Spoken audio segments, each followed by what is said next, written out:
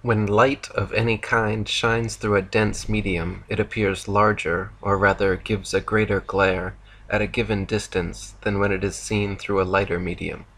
This is more remarkable when the medium holds aqueous particles or vapour in solution, as in a damp or foggy atmosphere. You can see this by standing within a few yards of a street lamp and noticing the size of the light. On going away to many times the distance, the light upon the atmosphere will appear considerably larger. This phenomenon may be noticed, to a greater or lesser degree, at all times, but when the air is moist and vapory it is more intense.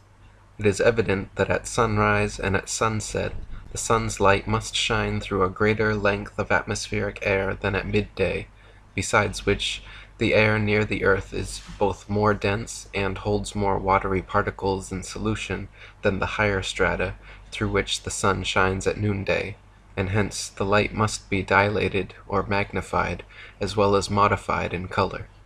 So the sun, as it sets towards the horizon, from a viewer's perspective on earth, simultaneously gets bigger due to the reason given above, and smaller due to the law of perspective. The net result is what you see. Notice how the distant lights have a brighter and bigger glare even though they're further away.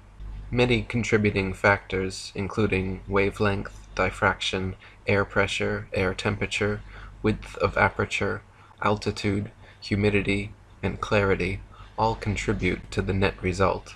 The amount to which the sun and moon will be magnified, due to the above reasons, and shrink due to the law of perspective, will depend on all of the above enature.com writes, The moon's warm color when seen at lower angles is caused by the relatively larger amount of atmosphere through which one is observing it as compared to when the moon is right overhead.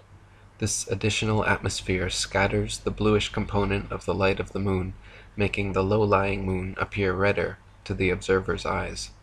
If you look later when the moon is higher above the horizon, you'll see it appears much whiter than earlier in the evening. It does change, and the changes are mostly due to the atmosphere. So I can show you a picture of the sun setting in the desert where it's very dry, and you'll see the sun shrink and shrink into a tiny, tiny pinprick before it disappears into the horizon.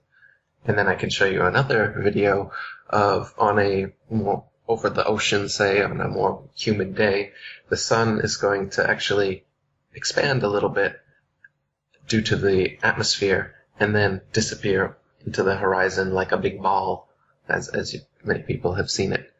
But either way that it disappears, whether it disappears into a pinprick before leaving the horizon or it expands and, and goes down the horizon, it's simply moving away from your perspective, as we talked about. It's not actually going down, just like a row of street lamps aren't getting shorter and shorter as they get farther and farther away from you. It's just an element of perspective.